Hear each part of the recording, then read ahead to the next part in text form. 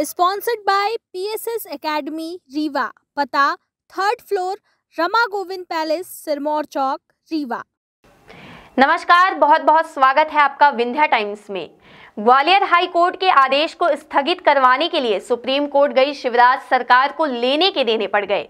Supreme court ने सरकार से सवाल किया है कि अनारक्षित वर्ग के कर्मचारियों को अब तक प्रमोशन क्यों नहीं दिया गया? जबकि सामान्य वर्ग के कर्मचारियों ने ऐसा कोई दंडनीय अपराध नहीं किया है, जिसके कारण उनका प्रमोशन रोका जाना चाहिए। मामला ग्वालियर हाई कोर्ट द्वारा दिए गए निर्देशों का है। पिछले दिनों ग्वालियर हाई कोर्ट ने मध्य प्रदेश शासन के पशुपालन विभाग में कार्यरत डॉक्टरों की एक याचिका पर स्पष्ट किया था कि न्यायालय ने सामान्य वर्ग के कर्मचारियों के प्रमोशन पर कोई रोक नहीं लगाई है। हाई कोर्ट ने शासन को निर्देशित किया था कि सामान्य वर्ग के कर्मचारियों का नियम अनुसार प्रमोशन किया जाए।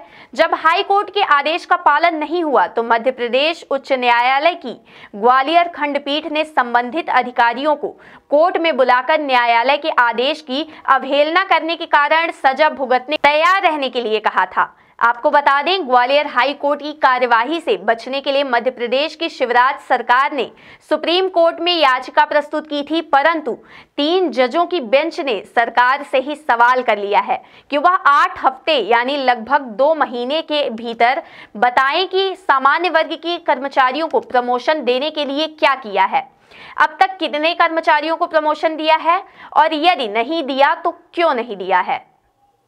Sponsored by PSS academy Rewa पता third floor Rama Govind palace Sirmaur Chowk Rewa